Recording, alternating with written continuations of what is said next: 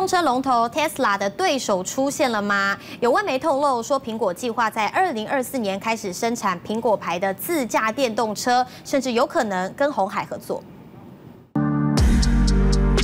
白色流线型车身在道路上奔驰，充满未来科技感。这是苹果即将推出的自驾电动车，预计在二零二四年开始生产。国民们的荷包准备好了吗？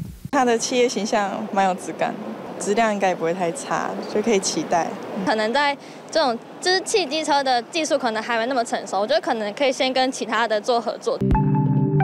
根据外媒报道，苹果的电动车泰坦计划从启动以来过程不算平顺，甚至几度被取消。但如今传出，苹果要用新型电池技术重新进军电动车市场。它有非常好的一个这个控制技术，再加上其实现在它自己也有自己所谓的晶片模组。但是造车并不只是只有用系统在说话。不止如此，有上游供应链宣称，苹果电动车可能最快明年九月就会发布。甚至已经完成公路测试，而且还有外媒透露，苹果有可能会引用红海的电动车开放平台技术来建造自家的电动车。红海借由跟华创的合作来证明他有能力、有这个先例，已经把产品交到整车厂里面去做这个呃它的系统的一个部分，要导入到其他车厂的一个这个供应链呢，这个阻力会稍微比较小一点。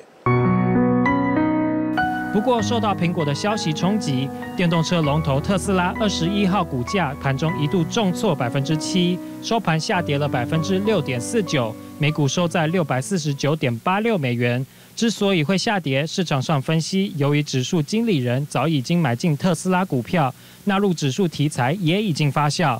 但有多头分析师预期特斯拉会恢复涨势，不过上涨步调会放缓。只是苹果的自驾车如何在电动车市场上和特斯拉分庭抗衡，就等实体车出炉，消费者就会有答案。东森财经新闻张占黄福祥综合报道。